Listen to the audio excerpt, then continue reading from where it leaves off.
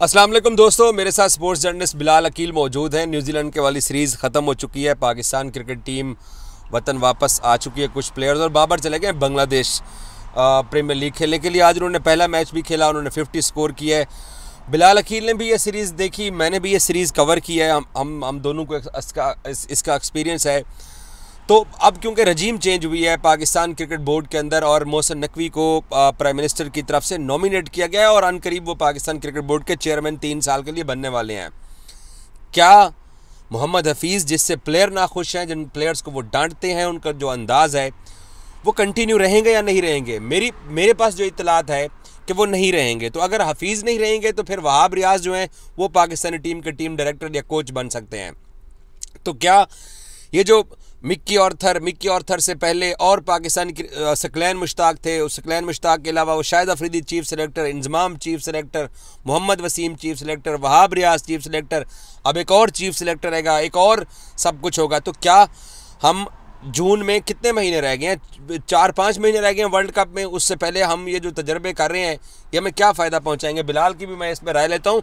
मुझे हालात अच्छे दिखाई नहीं रहे हैं। बिला जी थैंक यू सो मच भाईजान। मुझे बताएँ कि ये तब्दीलियाँ हमें जो है वो सूट करती हैं? हमें करनी चाहिए? जब से रमीज़ राजा गए हैं हम तब से यही देख रहे हैं कि पैदर पे तब्दीलियाँ ही हुई जा रही हैं। जब देखते हैं रमीज़ राजा के बाद चेयरमैन नजम सेठी आ जाते हैं वो अपनी टीम लेकर आते हैं।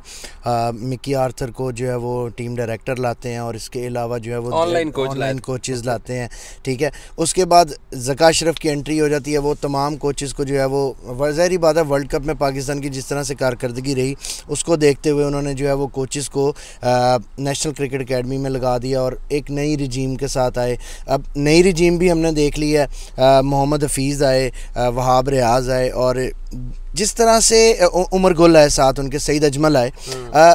आप देखें कि पिछले कई सालों से हमें एक स्पिनर नहीं मिल सका प्योर स्पिनर जिसे कहते हैं जिसका अब जैसे आप तो यार नसीम इंजर्ड हुआ हमारे पास नसीम की रिप्लेसमेंट नसीम की रिप्लेसमेंट नहीं है आपके पास आपका कोई प्लेयर आप सबसे पहले ये देखें कि आपके प्लेयर्स में सबसे ज़्यादा एक चीज़ है कि वो जल्द जो इंटरनेशनल क्रिकेट खेलता है वो उसी टाइम इंजरी का शिकार हो जाता है। बच जाएँगे या नहीं? नहीं बचेंगे। हफीज़ बिल्कुल भी नहीं बचेंगे क्यों?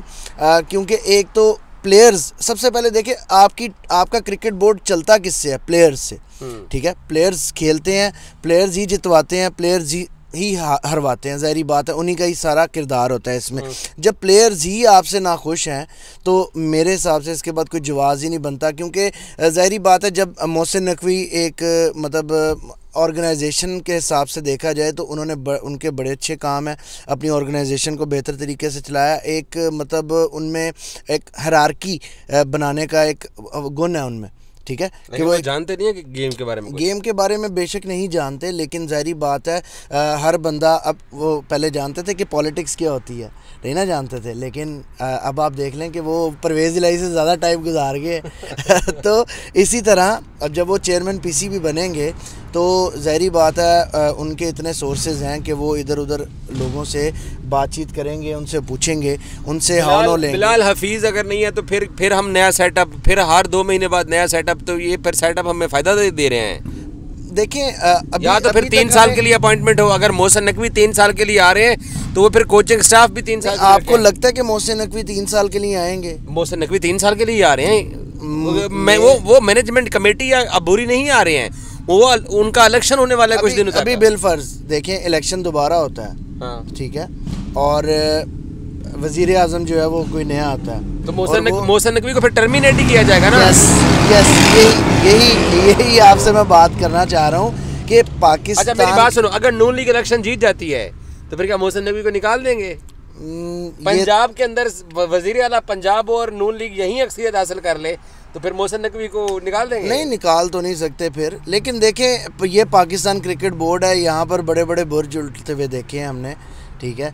रमीज़ राजा जिस तरह से वो आए थे और कहा जा रहा था कि जी यही कंटिन्यू करेंगे और वज़ी अजम आने के बाद, शबाज शरीफ के बाद उन्होंने काफ़ी अर्सा कंटिन्यू रखा, लेकिन उसके बाद अचानक जो है वो रमीज़ राजा को हटा के नजम सेठी को लाया जाता है, ठीक है। फिर उसके बाद नजम सेठी को एक्सटेंशन मिलती है, फिर असल काम जो था इलेक्शन करवाना, वो भी नहीं होते। लेकिन ये पाकिस्तान क्रिकेट बोर्ड है, यहाँ पर कुछ भी हो सकता रहेंगे, यही दोनों शाइन और शान। मोहसन नकवी के बाद अगर हफीज़ नहीं रहते तो अगर रजीम चेंज होती है तो। क्योंकि वहाँ चीफ सेलेक्टर है, मुझे लगता है वहाँ टीम डायरेक्टर आएँगे। मेरे हिसाब से कप्तान को नहीं छेड़ा जाएगा। जहाँ तक मेरी अगर आप ओपिनियन लें, कप्तान को छेड़ना भी नहीं चाहिए, क्योंकि अब आपके आके दो कप्तान आपने बना दिए हैं, ठीक है?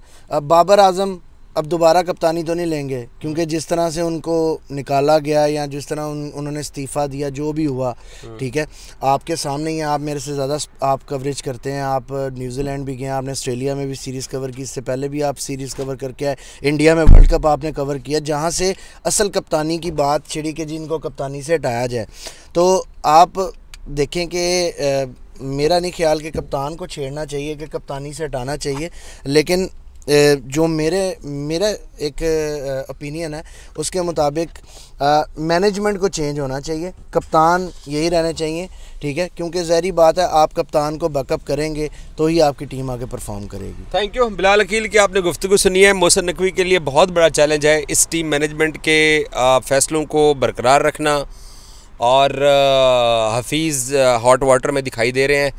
और कल हफीज़ की प्रेस कॉन्फ्रेंस भी है, देखते हैं कि वो क्या करते हैं, इस्तीफ़ा देते हैं या कंटिन्यू करते हैं। क्योंकि हुकूमत पाकिस्तान आईपीसी मिनिस्ट्री ने हफीज़ के पक्के करने के जो जो इकदाम थे जका अशरफ के, उनको नहीं माना था, क्योंकि हफीज़ बहुत ज़्यादा सैलरी की भी डिमांड कर रहे थे।